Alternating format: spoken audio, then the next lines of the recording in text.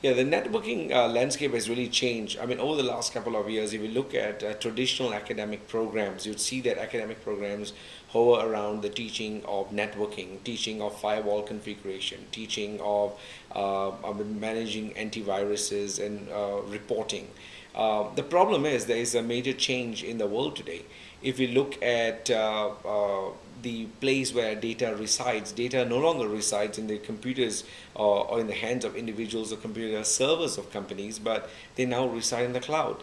Now, what has happened is when data is now being pushed to cloud, all of a sudden the responsibility of the management of data is no longer in the hands of the organization or the individual, but rather in the hands of a third party provider. So if you're an information security professional trained five years ago and your data and your entire job role is to protect data that resides in your server, well, what are you going to do now that your server no longer exists, but your, your data actually resides in a cloud, either on Amazon or on Google or any other provider of your country?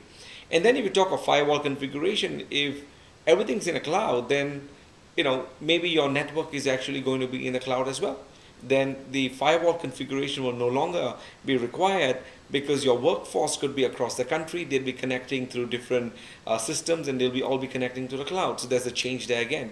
And if that happens, then the issue of intrusion detection systems, intrusion prevention systems, antivirus management no longer exists. Think of it this way. Most individuals today have an iPhone or an iPad or an Android device or a smart device.